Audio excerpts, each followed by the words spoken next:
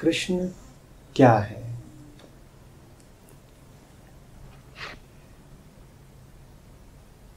बहुत आसान होगा अपनी आम भाषा में कह देना कि सत्य है कृष्ण। पूर्ण है कृष्ण।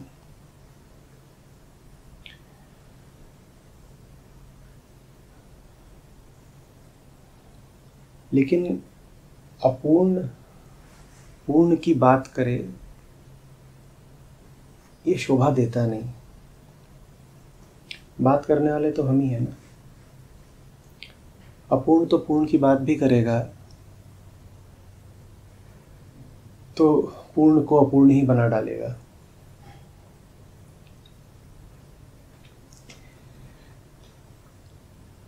इसीलिए गीता भर के कृष्ण कम से कम हमारे लिए तो अधूरे हैं।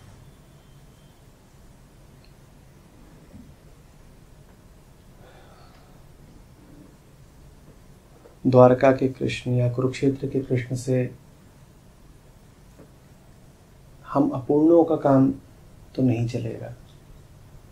वहाँ जो कुछ है, वो सत्य है, लेकिन असत्य के लिए सत्य अधिक से अधिक एक सिद्धांत हो सकता है। जीवन नहीं हो सकता सांस नहीं हो सकती, उठना बैठना नहीं हो सकता।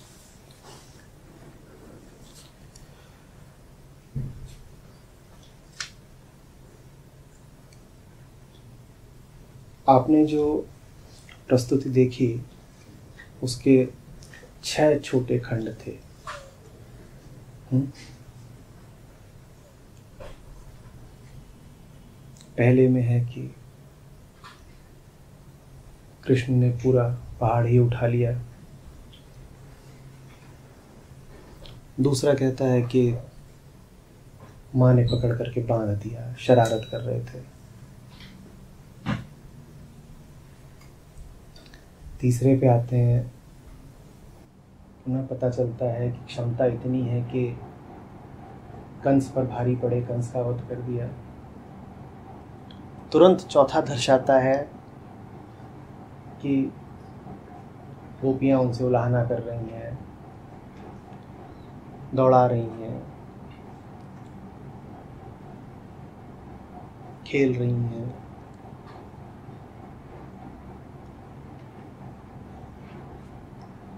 पांचवा कहता है कि अर्जुन यहाँ कौन है जो आ सकता है और कौन है जो जा सकता है? कौन है जो यहाँ कभी नहीं था? कौन है जो है नया आ जाएगा?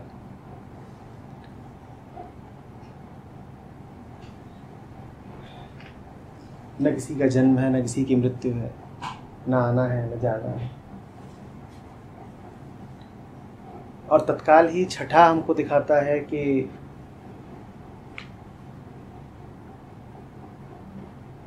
विरह का क्षण है। प्रस्थान करना है मथुरा की ओर। और, और कृष्ण भावावेग में व्याकुल है।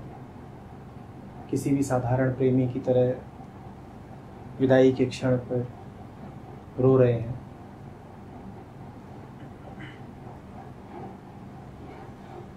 इन दोनों को एक साथ लेना पड़ेगा। सत्य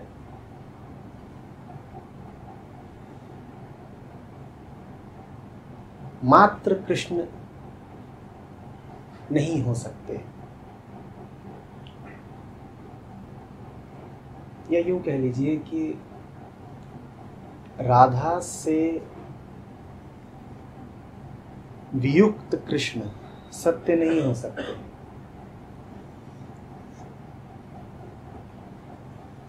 कृष्ण और राधा जब एक साथ हैं, हमारे लिए तो वो तभी सत्य हैं। ये बात बहुत प्रासंगिक है। इसके परिणाम क्या है जीवन में? इसके मायने क्या हैं? उस पर अभी हम आएँगे। हम दो तरह की गलतियाँ करते हैं। पहला, जब हम कृष्ण को पूर्णावतार रूप में परिभाषित करते हैं तो हम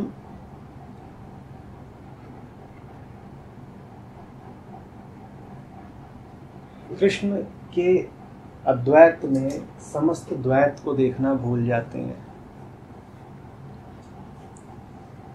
हमारे लिए कृष्ण मात्र गीता के कृष्ण हो जाते हैं।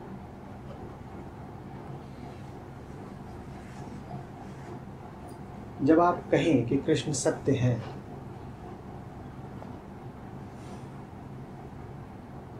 तो आपने कुछ गलत नहीं कह दिया, पर तब ये भूलिएगा नहीं कि फिर कृष्ण वो स्रोत है जिसके साथ राधा सदा उपस्थित है। कृष्ण यदि निराकार हैं तो राधा साकार है कृष्ण यदि आत्मा है तो राधा मन है?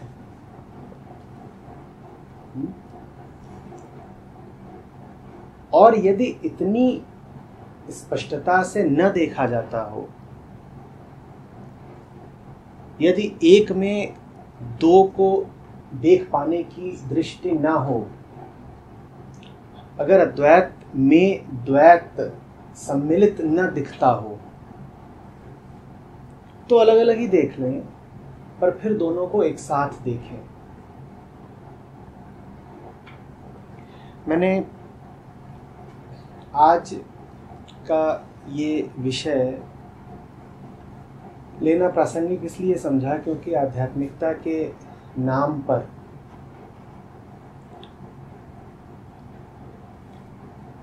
ये विभाजन हमें बड़ा भारी पड़ता है।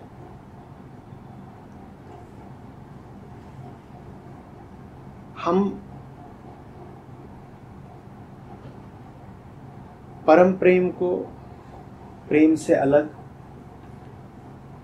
आत्मा को मन से अलग, बोध को विचारों और भावनाओं से अलग और सत्य को संसार से अलग और कृष्ण को राधा से अलग और शिव को शक्ति से अलग करके देख लेते हैं। जैसे दो कमरे हों, जैसे दो अलग अलग इकाइयाँ हों। हम्म? दो तरह के परिणाम आते हैं। परिणाम ये आते हैं कि कुछ लोग अपने आप को आध्यात्मिक घोषित कर देते हैं। कुछ लोग अपने आप को सांसारिक घोषित कर देते हैं। दोनों ही गलती कर जाते हैं। कुछ कहना ये शुरू कर देते हैं कि हमें तो सत्य से सरोकार है, संसार से हमें क्या लेना देना? और संसार में जो कुछ है वो झूठा है, नकली है। और कुछ कहना शुरू कर देते हैं कि ये सब कुछ जो सामने है, यही असली है। इसी में जियो, इसी में खाओ, पियो और इसी में एक दिन खत्म हो जाओ। दोनों ने ही सीमा खींच दी है, दोनों ने ही दो टुकड़े कर दिए हैं। दोनों ही सत्य और संसार को, कृष्ण और राधा को एक साथ नहीं देख पाए हैं। और एक साथ देखना होगा। एक साथ नहीं देखना होगा तो बहुत रूखापन रहेगा।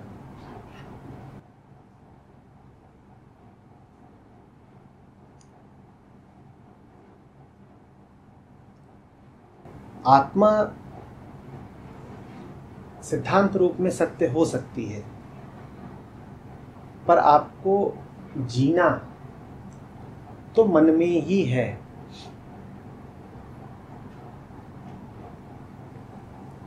सत्य होगा कुछ, जीना तो आपको संसार में ही है। दोनों को अलग अलग देखेंगे तो या तो आप अपने आप को संसारहीन घोषित कर देंगे, सत्य में जीता हूँ, संसार से कोई लेना देना नहीं, या आपका संसार सत्य विहीन रहेगा, फिर उस संसार में कोई बात नहीं रहेगी, वो मुर्दा रहेगा।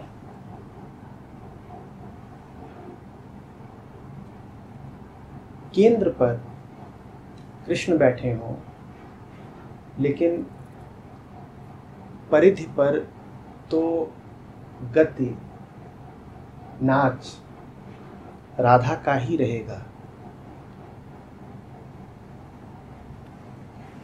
केंद्र पर जो कृष्ण है, उसको आप जान सकते नहीं, क्योंकि वो मन से आगे की बात है।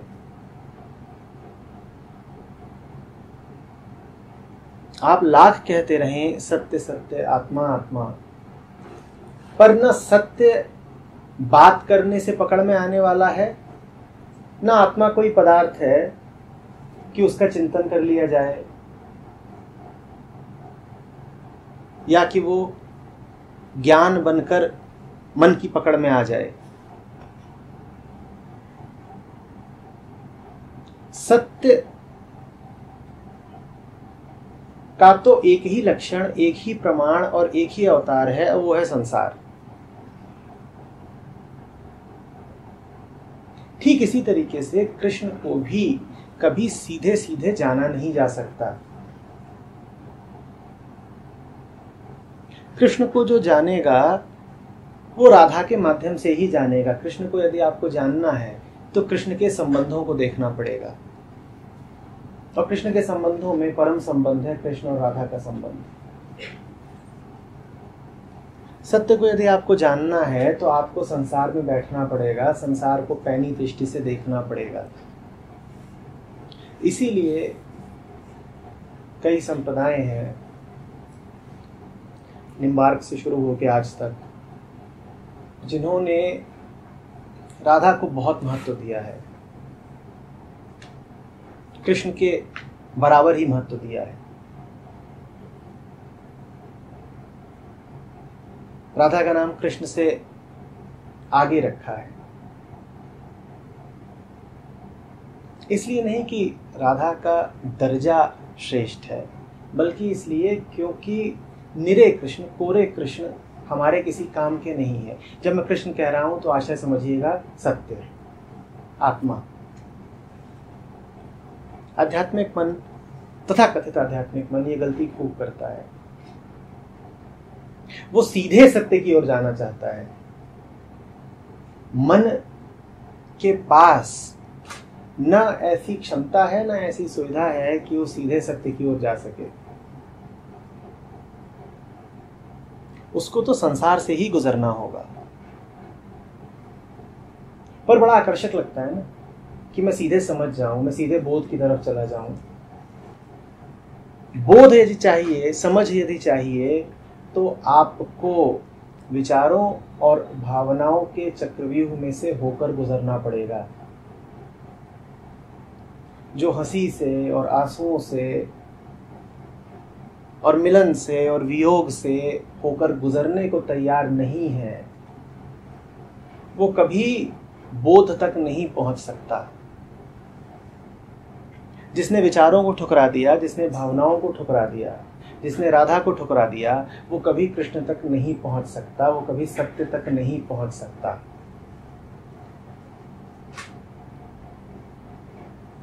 जिसे हम साधारण आदमी, साधारण मन कहते हैं, वो चूक ये करता है कि भावनाओं और विचारों में उलझा रह जाता है, ये सोच करके कि यही आधे हैं, यही अंत है, इनसे आगे कुछ है ही नहीं। तो प्रवेश तो करता है चक्रव्यूह में पर निकलने की ना उसकी इच्छा होती है, ना उसके पास कोई उपाय होता है और ना ही निकल पाने की दृष्टि। वो संसार में उलझता तो है, पर उलझाव से बाहर आने का उसका न इरादा होता है, न इच्छा।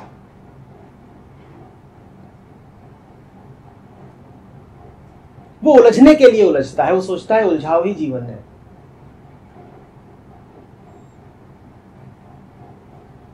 और फिर जब उलझ उलझ के हैरान हो जाता है तो एक दिन वो घोषित कर देता है कि अब मैं धार्मिक हुआ। अब मैं सत्य की शरण में जा रहा हूँ, अब मैं परमात्मा की शरण में जा रहा हूँ। अब तो मात्र ग्रंथ पढ़ूँगा। अब मुझे विचारों से, भावनाओं से, दैनिक जीवन से, सांसारिक क्रियाओं से कोई लेना देना नहीं। अब तो बहिष्कार है विचार का, बहिष्कार है भाव का, बहिष्कार है हँसी का बहिष्कार है, उत्तेजना का। बहिष्कार है, प्रतीक्षा का। मुझे इनसे क्या लेना देना? ये सब तो सागर में उठती लहरें हैं। हम तो सीधे सागर तक जाएँगे। लहरों के बिना कौन सा सागर देखा है आपने? और लहरें यदि हटा दें तो आपके लिए कौन सा सागर बचता है? दोनों ही गलतियाँ हैं। विचारों, भावनाओं में उलझ के रह जाना जितनी बड़ी गलती है, उससे ज़्यादा बड़ी गलती है। संसार का, मन का परित्याग करना, उसको निकृष्ट समझना, उसका बहिष्कार करना।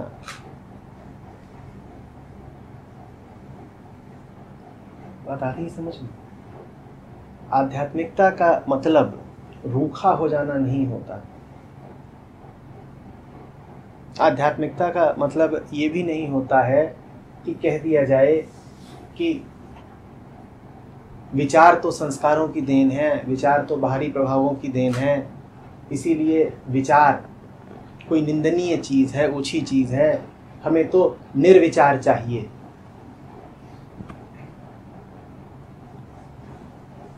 मन को निर्विचार जैसा कुछ सुलभ नहीं होता।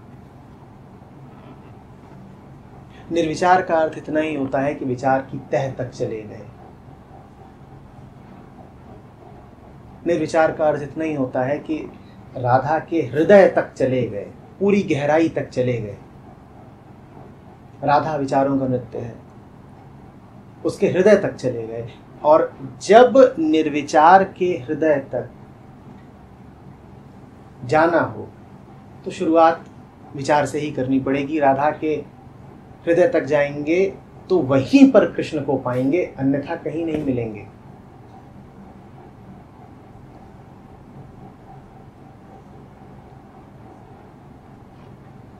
हम्म?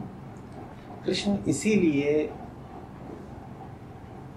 सभी अवतारों में अनूठे हैं, क्योंकि पूरे हैं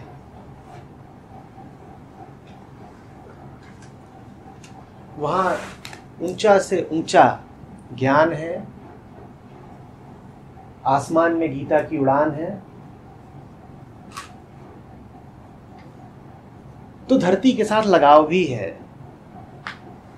कृष्ण जितने आसमान के हैं, ठीक उतने ही मिट्टी के भी हैं। वहाँ यदि आपको वो सब मिलेगा, जो आदमी के लिए असंभव लगता है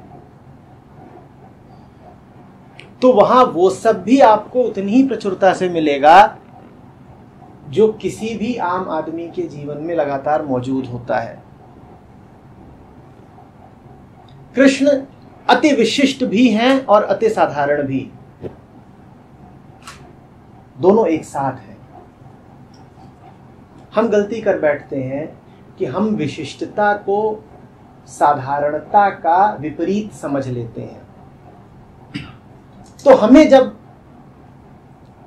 सत्य की प्यास उठती है तो हम कहते हैं कि सत्य तो इतना विशिष्ट है कि वो सब कुछ जो साधारण है जीवन में, उसे तो छोड़ना पड़ेगा। उसके बाद गलतियों पे गलतियाँ होती हैं। कभी ये गलती होती है, कह देते हैं कि जो साधारण है, छोड़ा तो जाएगा नहीं तो सत्य की उत्कंठा ही त्याग दो। और कभी उससे बड़ी गलती ये कर बैठते हैं कि जो साधारण है, उसको छोड़ने की कोशिश ही कर डालो। दोनों ही चूक हैं। आप कहें कि साधारण छोड़ा नहीं जाएगा तो फिर सत्य ही छोड़ दो तो बेवकूफ़ी है। और आप कहें कि नहीं, सत्य बहुत प्यारा है, बुला रहा है तो जो कुछ साधारण है उसे त्याग दो, ये और बड़ी।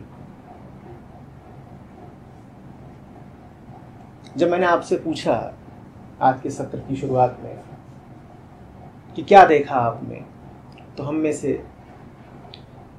किन्हीं एक ने कहा कि विरोधाभासी था कॉन्ट्रोडिक्टरी था, शायद आपने कहा। इसी विरोधाभास का नाम सच्ची आध्यात्मिकता है। ये विरोधाभास नहीं है, ये द्वैत की बात नहीं है। भगवत गीता और भागवत पुराण द्वैत के दो सिरे नहीं है। ये दिखते विपरीत हैं, एक है। बल्कि इनमें से एक दूसरे से उद्भूत हो रहा है। मात्र वो जो गीता का बोध रखता हो, मात्र वो ही बिना डरे, बिना हिचके अनुभव में उतर पाएगा। जो गीता का प्रवर्तक है, सिर्फ़ उसमें इतना साहस हो सकता है कि वो संसार को पूरी तरह जिए। सिर्फ़ वो जो अच्छे से जानता है कि आत्मा ना आती है, ना जाती है, और यहाँ कुछ भी ऐसा नहीं है जिससे बंधा जाए, जिसे पकड़ा जाए सिर्फ़ वो ही अपने आप को पूरी तरह से बंधने के लिए प्रस्तुत कर सकता है। ये बात आपको विरोधाभासी लगेगी कॉन्ट्राडिक्टरी लगेगी। पर इस बात को समझिएगा। हम तो पूरी तरह बंध भी नहीं पाते। कृष्ण को आपने रोते देखा, हम रो कहाँ पाते हैं?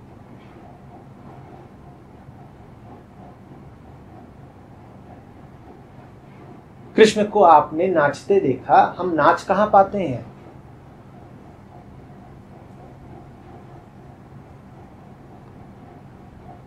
वृंदावन में वही नाच सकता है जिसके हृदय में गीता पहले बैठी हुई हो। ये विरोधी बातें नहीं है।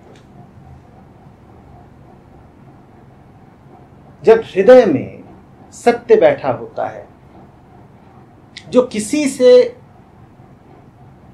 न आकर्षित है।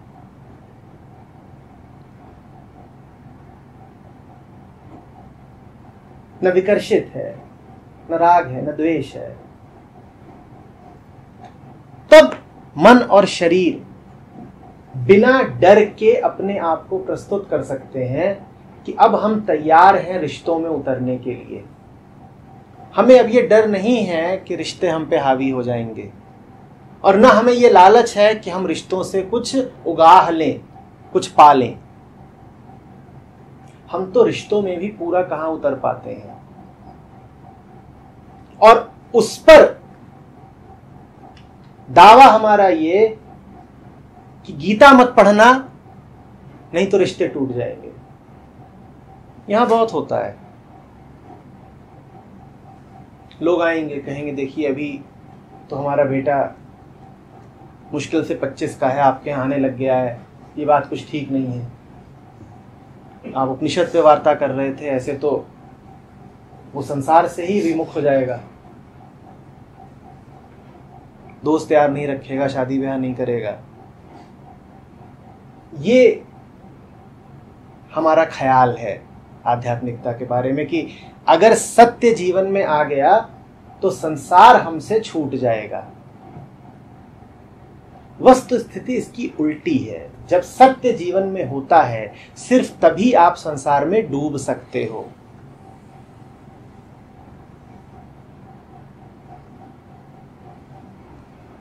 सत्यनिष्ठ मन से संसार छूटता नहीं है, वो संसार में डूबता है।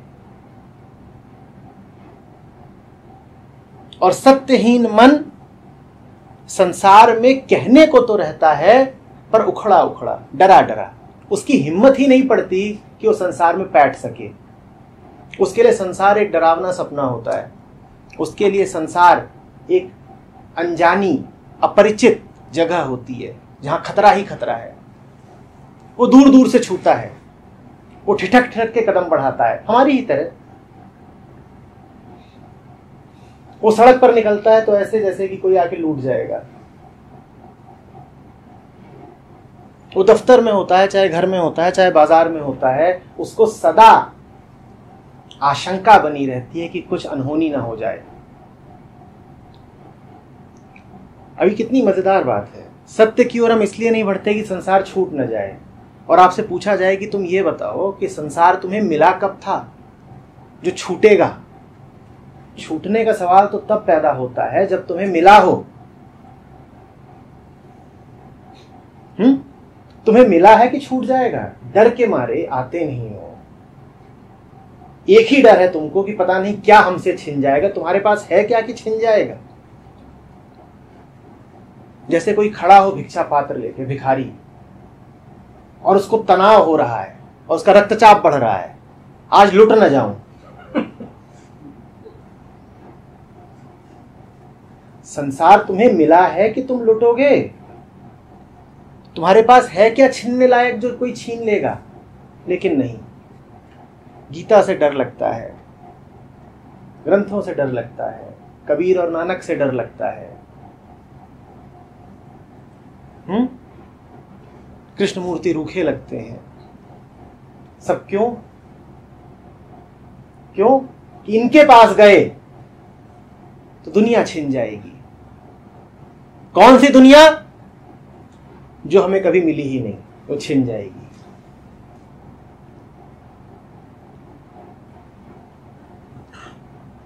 कृष्ण के इन दोनों रूपों को एक जानिएगा। कृष्ण गीता में अर्जुन से जो कह पाते हैं, युद्ध के मैदान पर वो अडिग रह पाते हैं तो इसीलिए,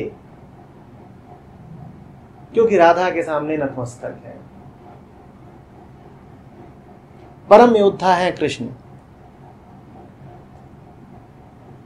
लड़ पाते हैं, दृढ़ रह पाते हैं तो इसीलिए क्योंकि रो भी पाते हैं। चट्टान की तरह है कृष्ण। इसीलिए क्योंकि बहुत नर्म है, बहुत मुलायम है, माँ से ठिठोली करते हैं।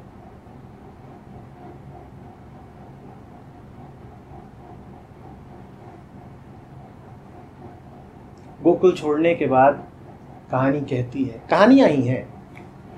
हम्म? लेकिन बताती हैं कुछ। कहानी कहती है कि एक बार और मिले थे राधा से।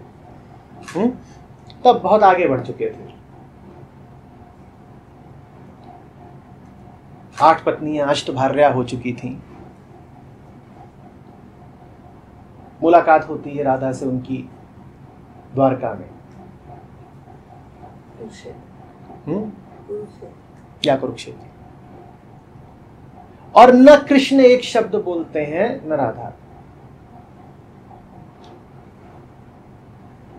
और बस आंसुओं की धार है। और ये वो कृष्ण है जो अर्जुन से कह रहे थे कि उठा गांडी और मार। सामने भले तेरे परिजन हो, पर मार। हम्म? इन दोनों बातों को अलग अलग मत देखिएगा। लाउजू ने पानी को पत्थर से ज़्यादा बलि बताया है। कृष्ण पूरे इसीलिए हैं क्योंकि वो पानी और पत्थर एक साथ है। कभी वहाँ आँसू की धार है बह रहा है पानी और कभी वो वज्र है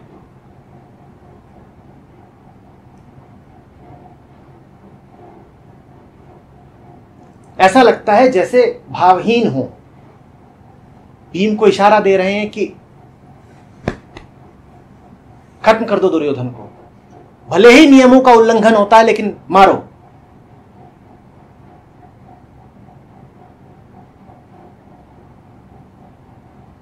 फिर चाहे द्रोण हो कि भीष्म हो, कि जयद्रथ हो,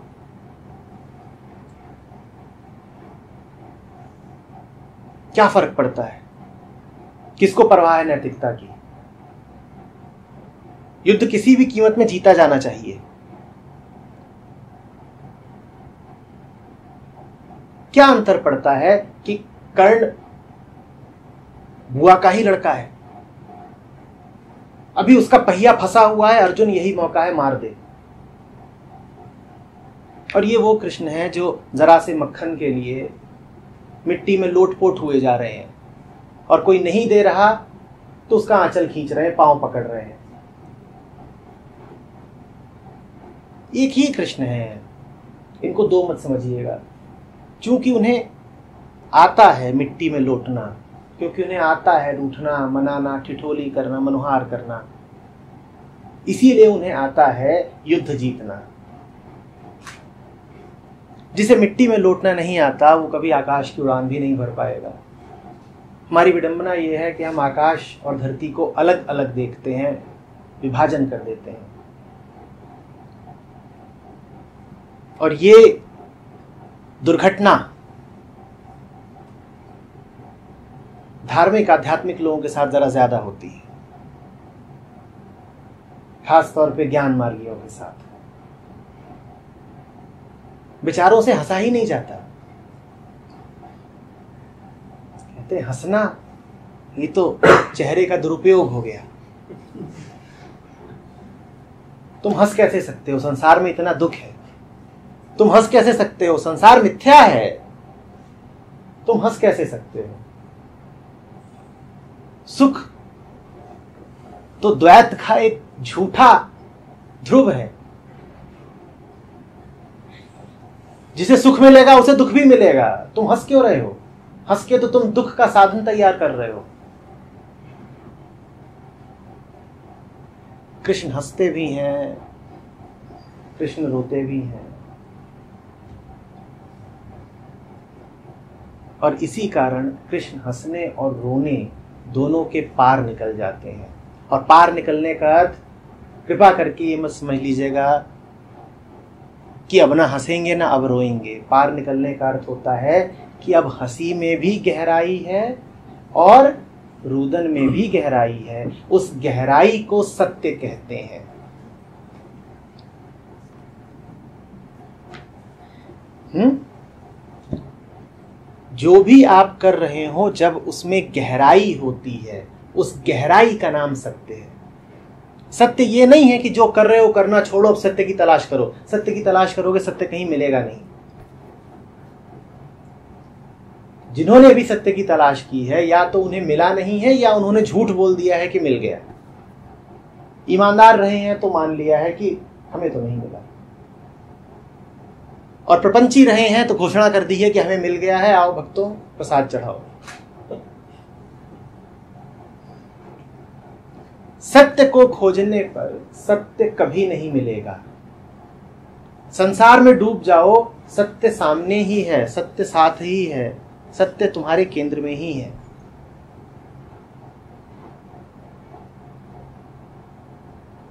देखना हमें यह होगा कि हम किन किन तरीकों से जीवन का निषेध करते हैं। हम किन किन तरीकों से अनुभवों में वर्जनाएँ डालते हैं? हम कैसे सीमाएँ खींचते हैं कि क्या करना है, क्या नहीं? हम कैसे अपने लिए तय कर लेते हैं कि क्या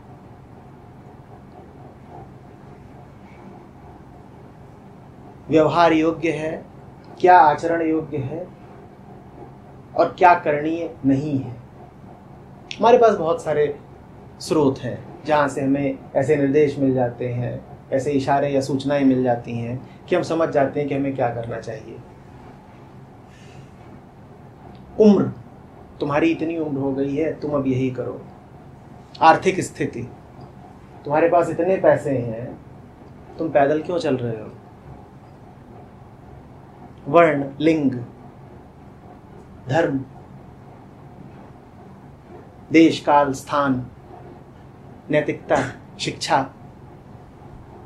ये सब हमको बताते हैं कि कुछ अनुभव, कुछ आचरण अनुगमनीय है, कर डालो, और कुछ ऐसे हैं जो निषिद्ध है, जिनकी पूरी वर्जना है कर मत डालना। यहीं पर हम कृष्ण से चूक जाते हैं। कृष्ण को आश्रम, वर्ण, लिंग, आयु, आर्थिक स्थिति, इनका कुछ ख्याल नहीं है। कृष्ण इस पर नहीं चलते। कृष्ण तो कृष्ण पर चलते हैं। राधा कृष्ण से उम्र में दस साल बड़ी थी। बड़े विवरण है। एक विवरण कहता है कि राधा शादीशुदा थी। विवाहिता थी किसी की। एक विवरण कहता है कि राधा कृष्ण के रिश्ते में ही थी।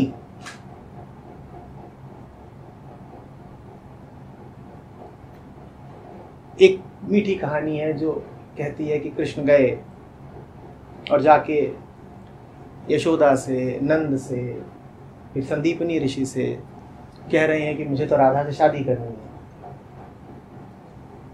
और वो लोग जितने तर्क देते हैं इस विवाह के विरुद्ध, उनसे पता चलता है कि कितना बेमेल जोड़ा था। ऐसा बेमेल संगम, जिसे आम आदमी दूर दूर ही रहे जिससे।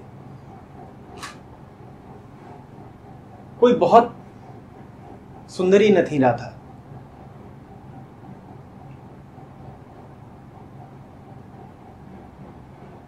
कृष्ण ग्राम प्रमुख के बेटे थे। राधा बड़े साधारण घर से थी।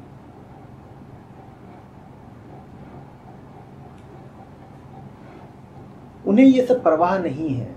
वो नहीं देख रहे हैं कि सुदामा कौन है। वो नहीं देख रहे हैं कि गरीब है।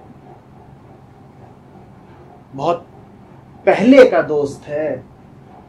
ना उनके लिए समय मायने रखता है, ना आर्थिक स्थिति मायने रखती है। वो नहीं कहते हैं कि मैं ये क्यों करूँ कि अपनी पूरी सेना उसको ही दे दूँ जो मेरे विरुद्ध लड़ने वाला है। हमारा आचरण हर तरीके से, प्रभावों से, संस्कारों से, परंपरा से, और यदि इन सबसे नहीं तो कम से कम हमारी सीमित बुद्धि से ज़रूर संचालित होता है। कृष्ण सिर्फ़ कृष्ण से संचालित होते हैं। कृष्ण के लिए कहीं कोई सीमा नहीं है।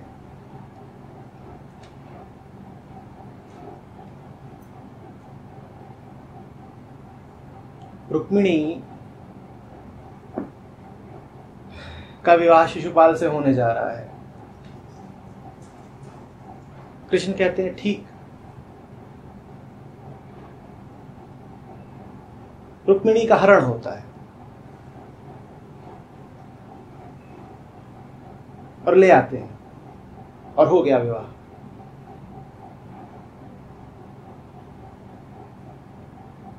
और ऐसा नहीं कि अपनी बारी है तो कर डाला। फिर अपनी बहन का भी वही हाल देखते हैं कि अर्जुन के प्रेम में है। तो कहते हैं, ठीक अर्जुन, ले जा। तू उठा करके ले जा इसको और मैं तेरा सहायक बनूँगा। उनके लिए कोई वर्जना नहीं है। बाद में बलराम बहुत उछल कूद मचाते हैं। तूने अपनी ही बहन का अपहरण करा दिया। वो शांत करा देते हैं। कोई बात नहीं, ठीक है। हम्म? कृष्ण के लिए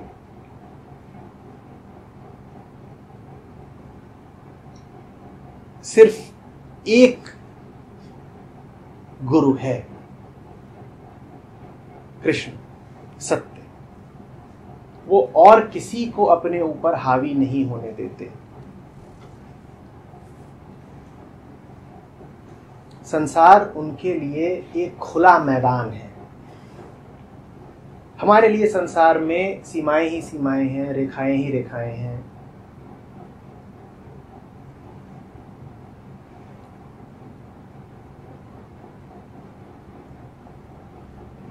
एक राजा है उसने सोलह हज़ार महिलाएँ कैद कर रखी हैं। और तब सामाजिक परंपरा कुछ इस तरीके की थी कि अगर एक बार कोई स्त्री इस तरह से किसी के यहाँ पर कैद कर ली जाए तो फिर वो समाज से जरा बहिष्कृत हो जाती थी।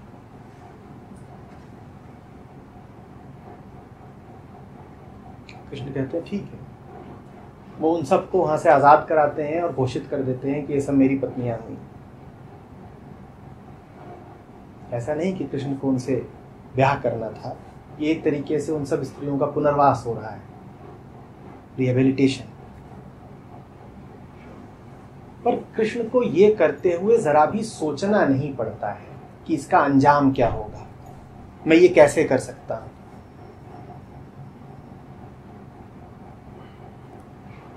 वो जीते हैं, वो पूरी तरह जीते हैं और प्रतिक्षण जो उचित है, उनके माध्यम से होता रहता है।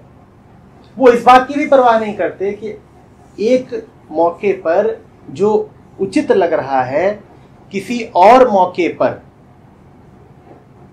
वो अनुचित हो सकता है, उसका विपरीत भी करना पड़ सकता है। कृष्ण किसी दूसरे को तो अपना नियंत्रक बनाते ही नहीं है स्वयं अपने द्वारा पहले किए गए कर्मों को भी वो अपने ऊपर नियंत्रण नहीं करने देते। अपने से ज़्यादा बली एक सेना देखी, कृष्ण ने कहा, ठीक, लड़ाई नहीं करेंगे। पीछे हट जाते हैं, रणछोड़ कहलाते हैं। और कौरवों की भी जो सेना है उसका जो वर्णन मिलता है पांडवों की सेना से, ड्योढ़ी है। पर अर्जुन से कहते हैं, तू लड़ा रहे, मैं तेरे साथ हूँ। पूछने वाला ही सवाल पूछ सकता है कि अगर लड़े ही रहना होता है तो स्वयं पीछे क्यों हटे थे? पर उनके लिए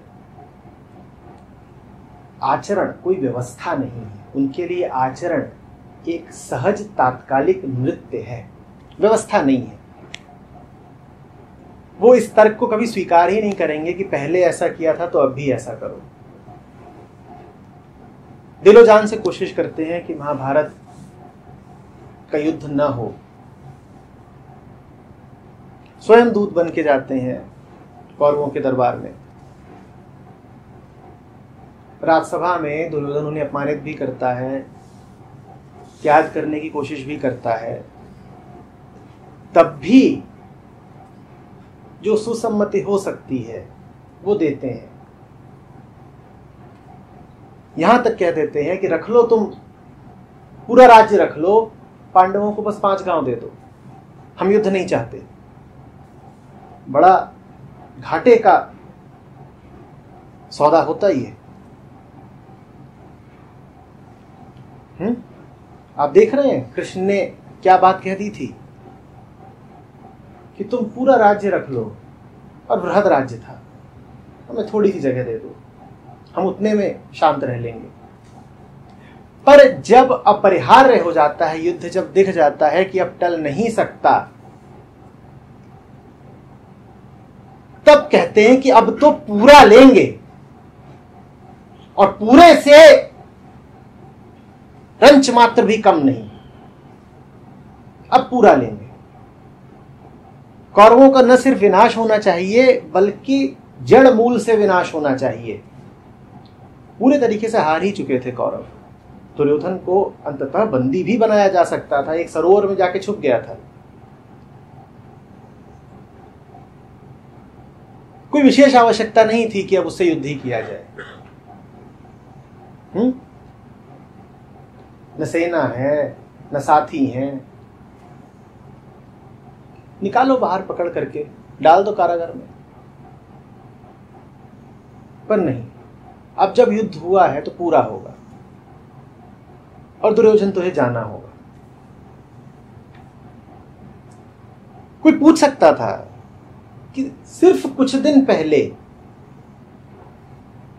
महीना भर भी नहीं हुआ, कृष्ण आप इसी दुर्योधन के दरबार में खड़े होकर कह रहे थे कि तू ले ले तुझे जो चाहिए। हम लड़ना नहीं चाहते तुझसे। और आज आप उसे जीने भी नहीं देना चाहते। बड़ी विसंगति है। बड़ा विरोध है। पर विसंगति और संगति की बातें तो वो करे ना जिन्हें ठीक इस क्षण बोध का प्रकाश उपलब्ध न हो।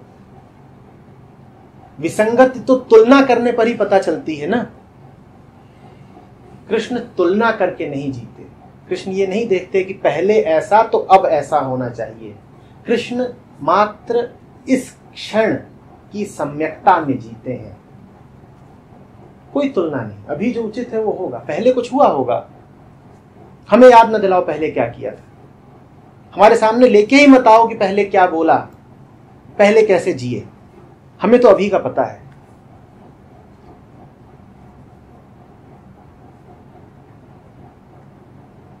जिस वृंदावन में कृष्ण की बांसुरी गूंजती थी,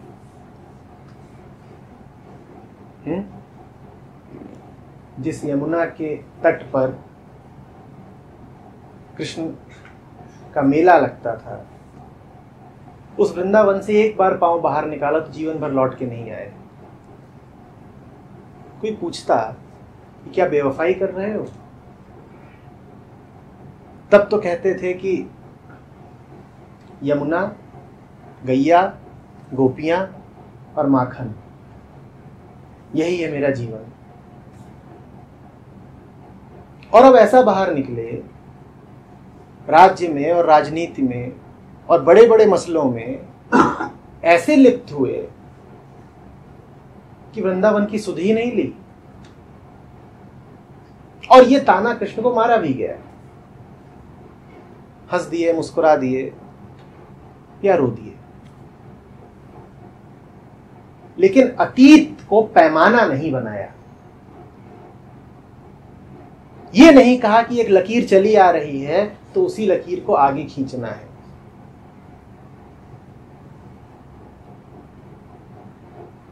हम जी नहीं पाते पूरा, क्योंकि हमने जीने के इर्द गिर्द बहुत सारे दायरे बना रखे हैं। बिना करे हमें पता होता है कि क्या करना उचित है और क्या करना अनुचित है। बिना जिए हमें पता होता है कि कैसे जीना है और कैसे नहीं जीना है।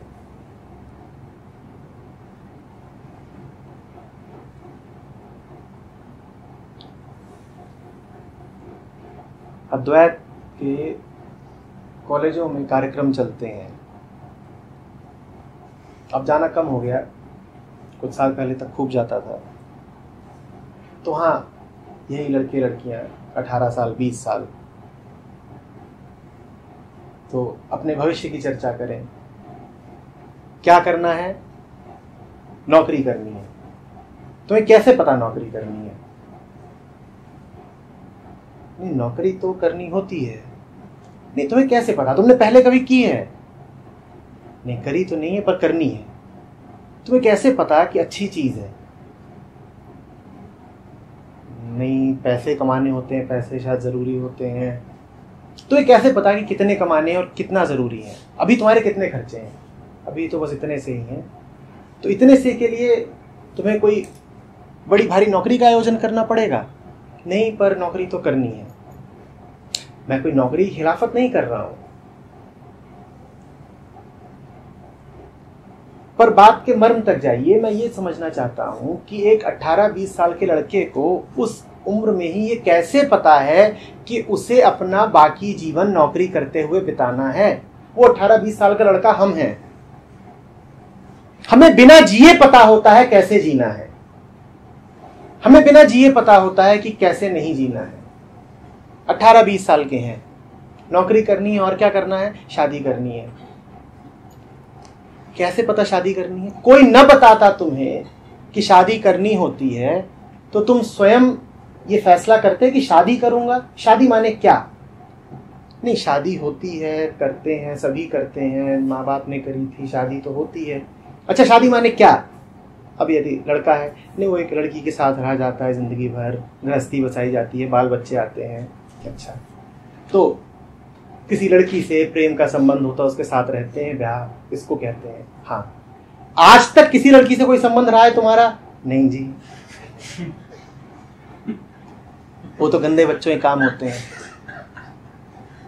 मम्मा ने मना करा था। लड़कियाँ छिछी।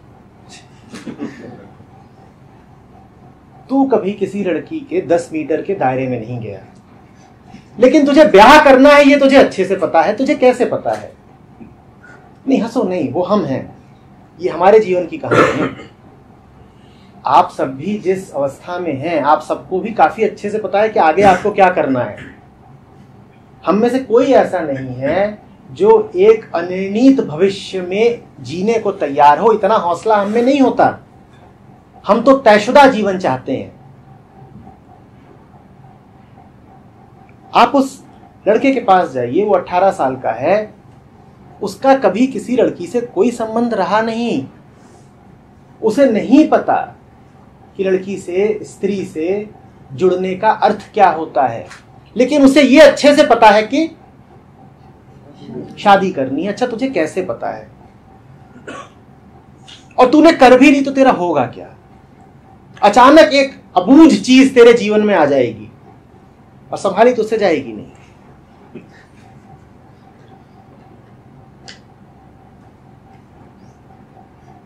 हम्म?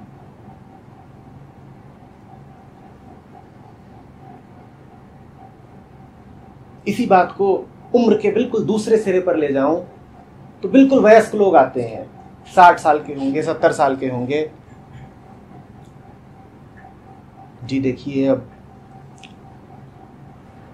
विदाई की बेला आ रही है। तो मरने से पहले कुछ ऐसा कर लेना चाहते हैं कि अगले जन्म का जुगाड़ हो जाए। हम्म? या फिर स्वर्ग वगैरह ठीक ठाक मिल जाए। रिजर्वेशन तुम पहले कभी मरे हो? कितनी बार मरे हो आज तक? नहीं, अभी तक तो मरे नहीं, ऐसा लगा नहीं। तो फिर मरने से डर क्यों रहे हो? सवाल को हल्के में मत लीजिएगा। सबसे पूछ रहा हूँ, कोई ऐसा नहीं है जिसके लिए मौत एक सवाल ना होती हो? और मौत हमेशा भविष्य में होती है। अतीत में हो नहीं सकती, क्योंकि आप भूत नहीं हैं। वर्तमान में हो नहीं सकती, क्योंकि अभी भी आप मरे नहीं। तो मौत हमेशा कहाँ होती है? भविष्य में होती है।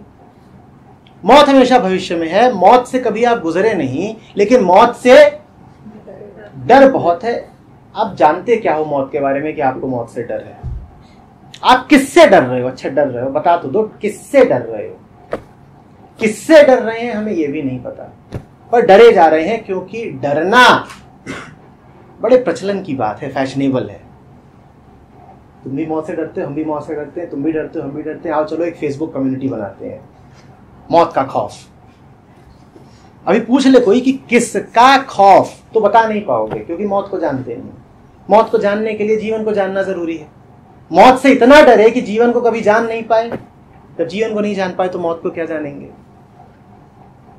लेकिन आगे की व्यवस्था करनी ज़रूरी है। चाहे 18 साल वाला हो, चाहे 80 साल वाला हो, सब आगे की व्यवस्था करने में जुटे हुए हैं। कृष्ण वो, जिसे आगे पीछे से कोई लेना देना नहीं। जो ना पीछे का कायल है, ना आगे से आक्रांत। आ रही बात समझ में? इसीलिए उनके जीवन में आपको विरोधाभास ही विरोधाभास दिखाई देंगे। और इसीलिए बहुत सारे लोगों को कृष्ण सुहाते भी नहीं है। उनको दूसरे लोग चलते हैं, मर्यादित लोग। कृष्ण के साथ मर्यादा जैसा कुछ है ही नहीं। कृष्ण का कुछ पता ही नहीं है कब क्या कर जाएँगे।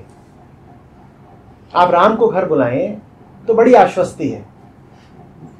वो आएँगे ड्राइंग रूम में बैठेंगे, आप शरबत देंगे, वो पी लेंगे, कोई छिड़खानी नहीं करेंगे। मर्यादा पुरुषोत्तम है। कृष्ण का भरोसा नहीं, वो तो माखन चोर है। आपने घर में बुलाया वो आपके घर का ही माखन। और रास में माहिर है। आपके घर वाले वैसे ही उबे हुए हैं आपसे। कृष्ण खतरनाक है।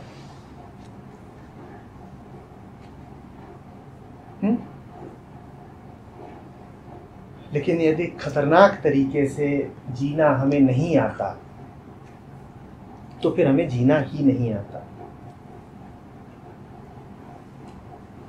हुँ?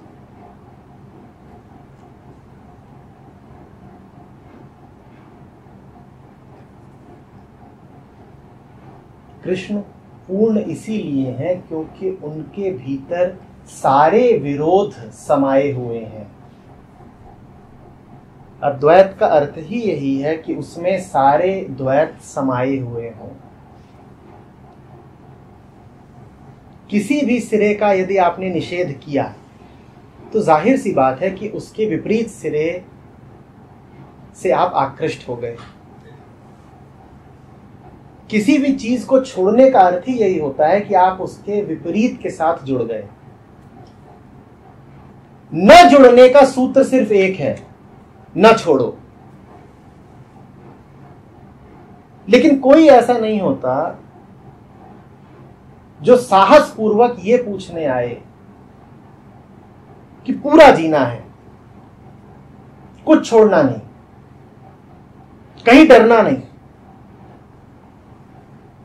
लोग ये ज़रूर पूछने आ जाते हैं कि देखिए, बड़ी आसक्तियाँ हैं, इनका त्याग कैसे करें?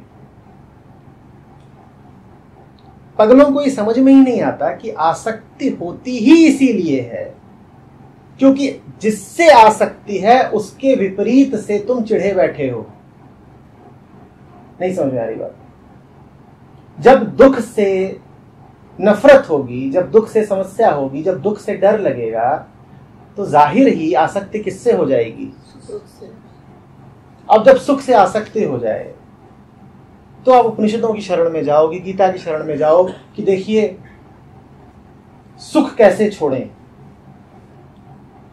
तो कोई समाधान नहीं मिलेगा आपको। सुख से यदि आसक्ति हो रही है तो समाधान सिर्फ़ एक है दुख से डरो मत। जिसने दुख से डरना छोड़ दिया वो सुख से चिपकना भी छोड़ देगा।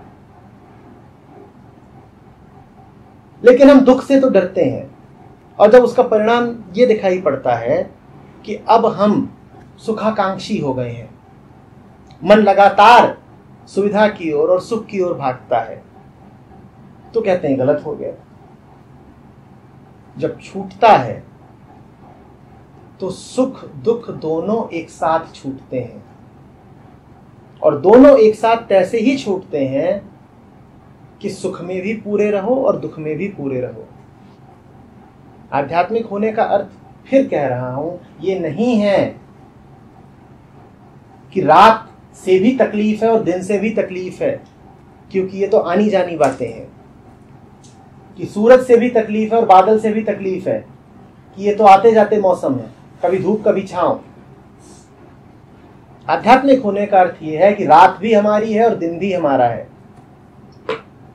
और बहुत आपको मिल जाएँगे जो कहते हैं चाँद, सूरज, ये तो सिर्फ़ मानसिक प्रक्षेपण है। ये तो मिथ्या भ्रम है।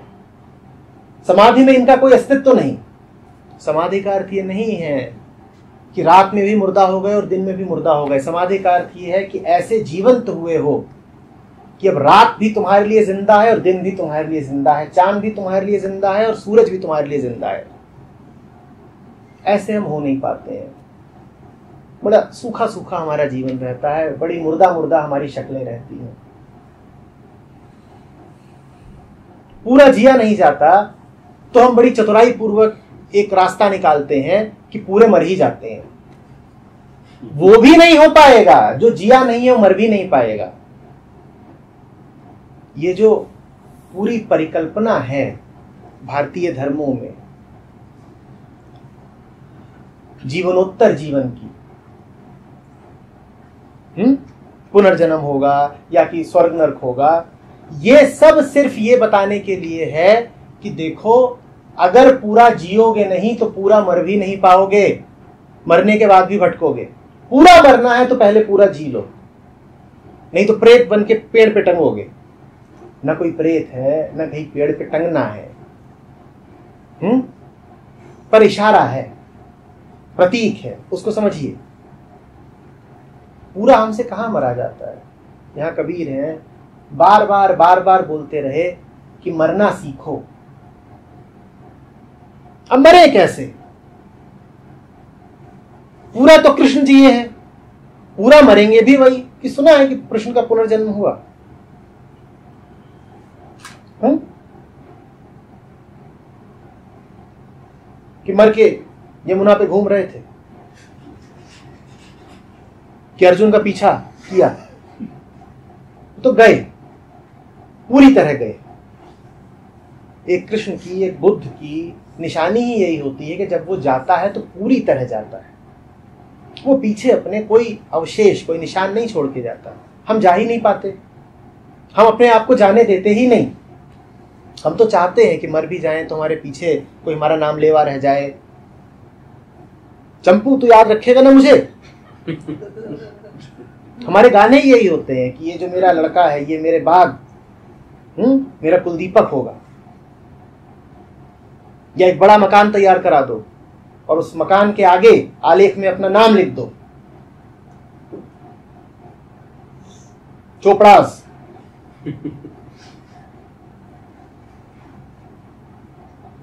हम्म? कृष्ण को ऐसा कोई लालच नहीं। जब जी लिया पूरा तो अब क्या लालच बचा? जब पी लिया पूरा, अब तो अब क्या प्यास बची? अब क्यों कहें कि कोई हमारा नाम ले? अब क्यों कहें कि समय में हमारी याद आगे बढ़ती रहे अज्ञे की बड़ी सुंदर पंक्तियाँ हैं इसमें कि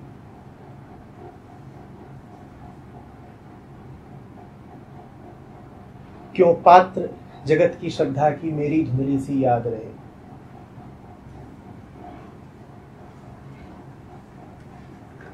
हुँ?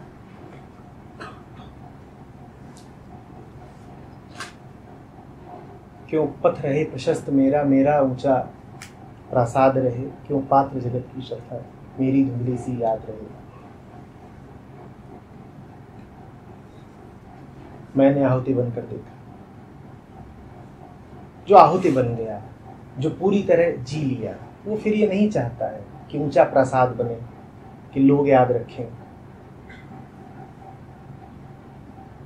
कि रिटायरमेंट के बाद की जरा योजना बना लो। कितने पैसे आएँगे? हम्म? कि बेटी का दहेज जोड़ लो। नहीं, दहेज नहीं, आजकल उसको क्या बोलते हैं? तोहफा।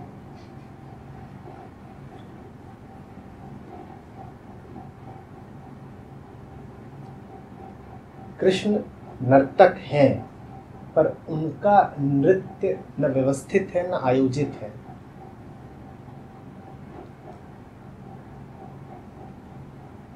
मानसिक नृत्य नहीं है उनका। पूरा है।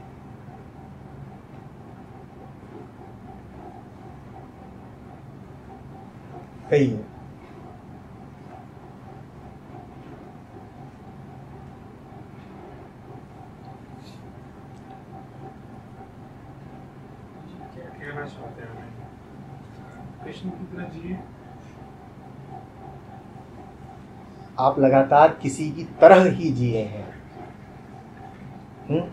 जो भी आपके आदर्श हैं, जो भी आपके शिक्षक रहे हैं, जहाँ कहीं भी आपको प्रेरणा मिलती रही है, जो कोई भी आप पे हावी रहा है, आप लगातार उसकी तरह ही जिए हैं।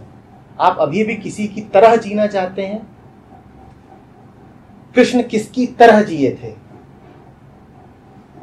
कृष्ण किसकी तरह जिए थे? कृष्ण। कृष्ण की तरह। तो आप कृष्ण बन जाएँगे कृष्ण की तरह जी करके जबकि कृष्ण किसी और की तरह नहीं जिए थे। पर देखिए अभी भी सवाल यही है कि किसकी तरह जिए? क्या किसी की तरह जिए?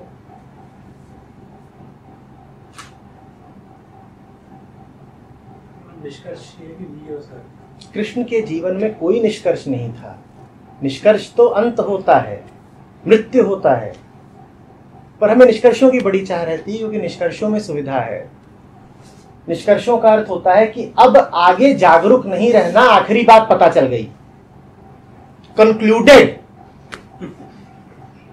फुल स्टॉप लग गया विराम। निष्कर्ष क्यों चाहिए? निष्कर्ष की चाह ही तो हमारे डर का सूचक है। और यदि निष्कर्षों में ही जीना हो तो क्यों साथ मिले, क्यों बैठे, क्यों इतनी लंबी चर्चा करें? एक पंक्ति का निष्कर्ष आपके घर भिजवा देंगे। प्रेम का क्या निष्कर्ष होता है? क्यों किसी के साथ तीन प्रेमपूर्ण घंटे बिताओ? उसका जो निष्कर्ष होता हो, वो एक मिनट में उसको बता दो। बोलिए, जीवन का क्या निष्कर्ष है? जो भी निष्कर्ष है, वो पता कर लो, जीवन खत्म करो। पर निष्कर्ष हमें चाहिए। निष्कर्ष एक बार मिल गया तो अब आराम से पड़े रहेंगे, हमें पता है। हुँ? निष्कर्ष नहीं होते जीवन में। जीवन में सतत जीना होता है, सतत जानना होता है। जानकारी और जानते रहने में अंतर है। जानकारी एक बार को मिल सकती है। जानते रहना एक चिरंतन प्रक्रिया है। वो कभी पूरी नहीं होती? लगातार जानते रहिए। जानना रोक मत दीजिए। कहीं पर विराम मत लगाइए। कभी कह मत दीजिए कि मुझे समझ में आ गया। समझते रहिए। यही कृष्णत्व है अगर कृष्ण की तरह जैसे स्कूल से हमें समझ में आया रहने लगे, जीने लगे तो प्रैक्टिकली कैसे उसको अप्लाई करें क्योंकि थोड़ा बहुत प्लानिंग तो करनी पड़ती है। बहुत ज़्यादा ना भी करें but day to day life कैसे चलेगी? आज तक जो भी हमने प्लानिंग करी है, योजना बनाई है, अगर आपको ये लगता हो कि वो आपके बिल्कुल काम आ गई है। आप दिल से संतुष्ट हो उससे। तो जैसा चल रहा है, चलते रहने दीजिए। कृष्णत्व का मतलब ये नहीं होता कि पहले एक प्रकार की योजना बनाते थे और अब दूसरे प्रकार की योजना बनाएँगे। वो कोई नई योजना नहीं है। वो योजना से मुक्ति है। और योजना से मुक्ति का सवाल तभी पैदा होता है जब आप पहले योजनाबद्ध जीवन से ऊब जाएँ। अगर अभी ऊबे नहीं है तो जैसा चल रहा है, चलने दीजिए। सत्य उन्हीं के लिए है जो सीमाओं से उब गए हों। गहराई उन्हीं के लिए है जिन्हें अब उथलेपन में चैन न मिलता हो। अगर यदि उथलापन ही आपको अभी भा रहा है तो आप सतह पर ही रहें। उसमें कोई अपराध नहीं हो गया, कुछ गलत नहीं हो गया। बस इतनी सी बात है कि अभी समय नहीं आया आपका।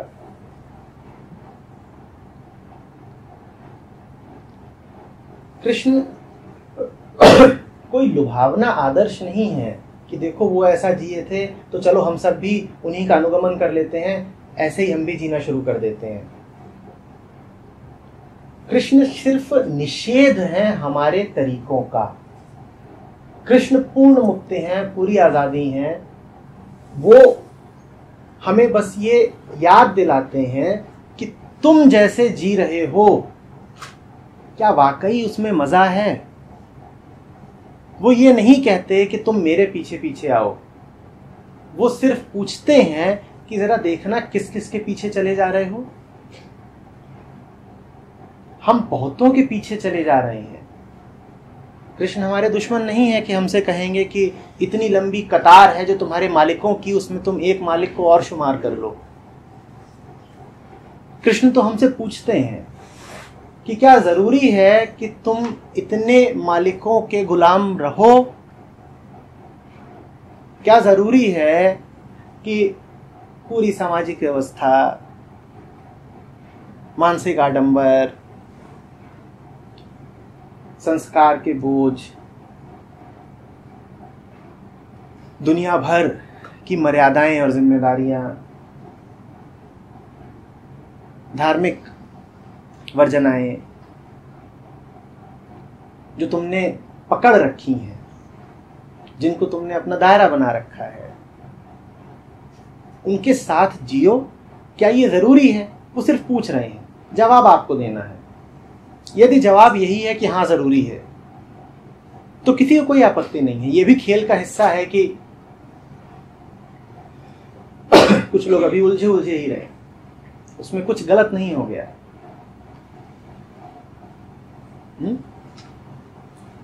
ये सारी बातें उनके लिए हैं जो तैयार बैठे हों। दरवाज़ा निश्चित रूप से खोला गया है। पर उन्हीं के लिए जो तैयार बैठे हैं प्रवेश करने को। जिन्हें अभी कमरा ही सुहा रहा है, जिन्हें अभी दीवारें ही सुहा रही हैं, उनके लिए दरवाजे का कोई प्रयोजन नहीं है। अभी तो आपको दीवारें ही अच्छी लगती हैं। तो ठीक है, आप दीवारों को ही सजाएँ। रंग रोगन करें फूल माला चढ़ाएँ, ठीक? कृष्ण दरवाज़ा है। कृष्ण आमंत्रण है। आमंत्रण स्वीकार करना है या नहीं, वो आपके ऊपर है।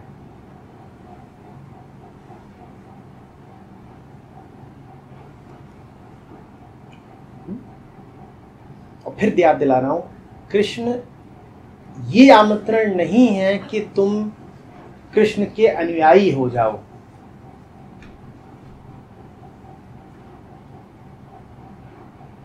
कोई भी संत, कोई भी अवतार, कोई भी गुरु कभी इच्छुक नहीं होता है अनुयायी इकट्ठा करने में।